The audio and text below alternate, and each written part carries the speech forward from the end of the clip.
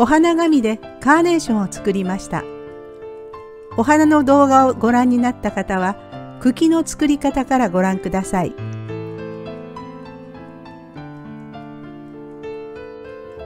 まず、お花紙2枚を重ねて蛇腹に折ります。五色鶴の花子ちゃんがないときは手で折ってください。花子ちゃんから取り出したらすぐにクリップで留めてください。左右長さを変えて切り取ります。このくらい長さを変えました。端の部分をジグザグに切ります。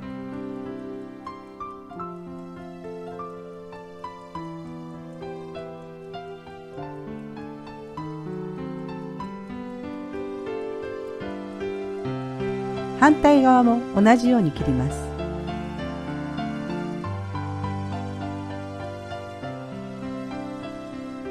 小さい方も同じように切っておきます。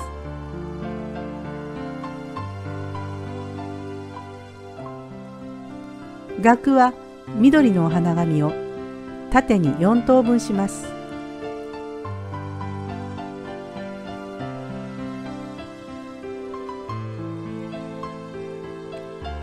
細長く裂いたらその1枚を3つに折ります。そしてこれを三角に折っていって16折りにします。お花紙は薄いので3枚ぐらい重ねて作業ができます。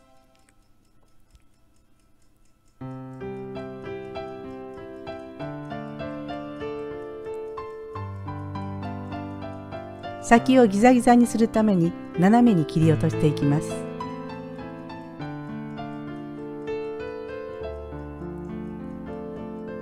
真ん中になる部分は穴が開くように1ミリほど切り落としましょう。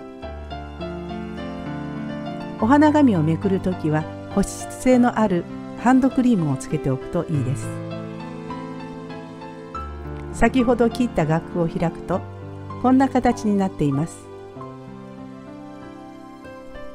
つぼみを作っていきましょう。ワイヤーを20センチほどに切ります。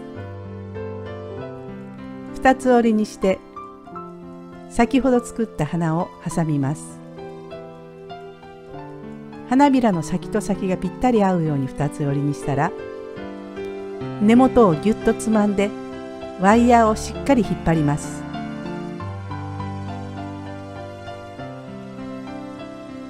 ワイヤーを交差させて23回ねじります。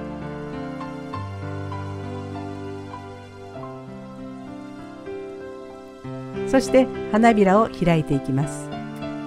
まず横に開いてそれから片方ずつ開いていきます。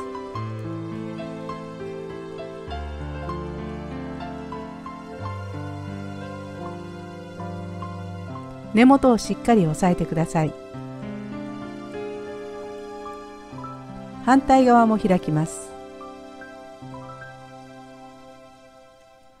花を机に押し付けて茎をぎゅっと引っ張ります。こんな平べったい形になります。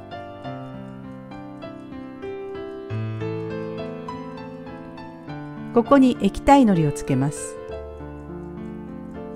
スティックのりではなく液体のりを使ってください。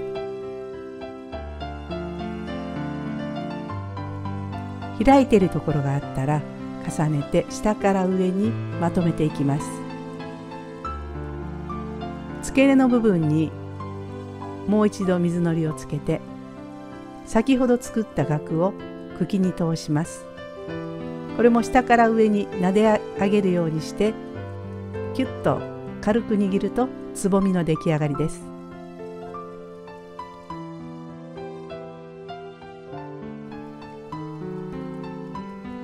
大きな花の方は茎を長くしてください。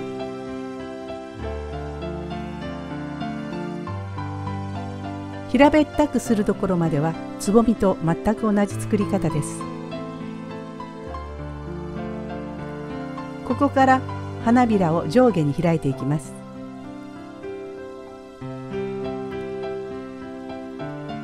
指先にハンドクリームをつけながら開くと作業がしやすいです根元までしっかりと開いてください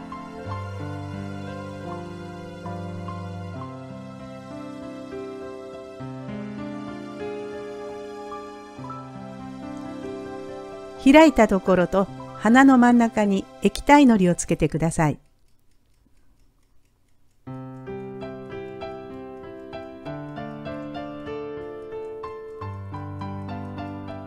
そして下から上に優しく撫で上げるように鼻をまとめていきます。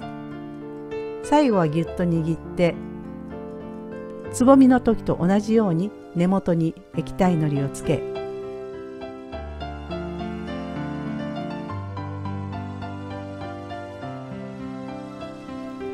額を茎に通して下から上に撫でるようにしてくっつけます。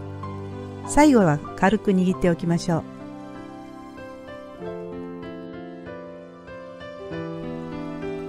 次は茎を作ります。カーネーションにはコブがあるのでそのコブの部分をお花紙を使って作ります。ワイヤーをねじったところにお花紙を細く裂いたものを挟んで液体のりをつけます。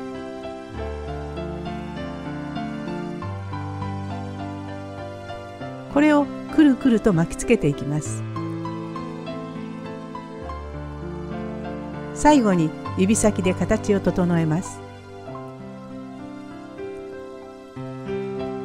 茎ができたらフローラテープで茎全体を巻いていきます。コブのところも形を整えながらしっかりと巻きます。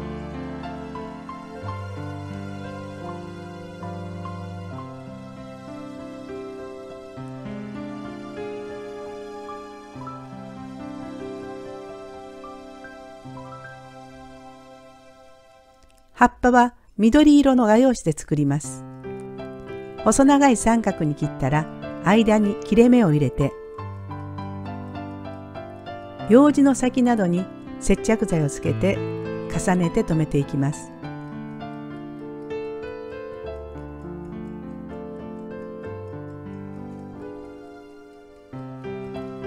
フローラテープを5センチぐらいに切っておきます。先ほど作った葉っぱでコブの部分を挟んでその根元をフローラテープで巻きます。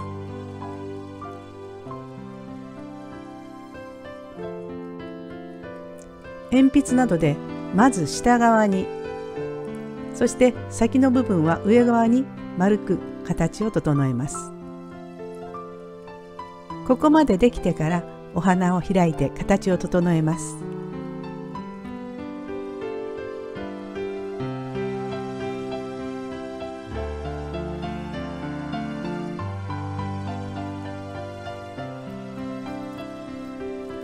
これで出来上がりです。つぼみも茎を長くして葉っぱをつけました。一本の茎に花とつぼみの両方をつけたい場合はつぼみのワイヤーを短めにして一つ目の葉っぱまでつけておきます。二つ目のコブになるところで2本をお花紙でまとめます。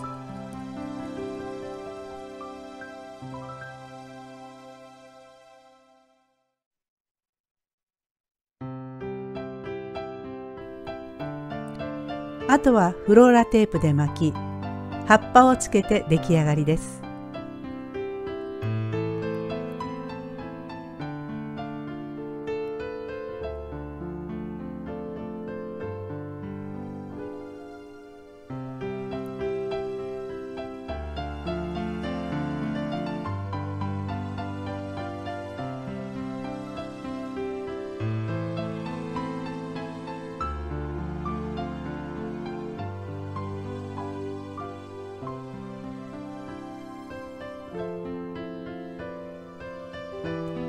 お花がたくさんできましたグラスに生けたりリボンでまとめたり花束にしたりいろいろなアレンジを楽しんでみてください。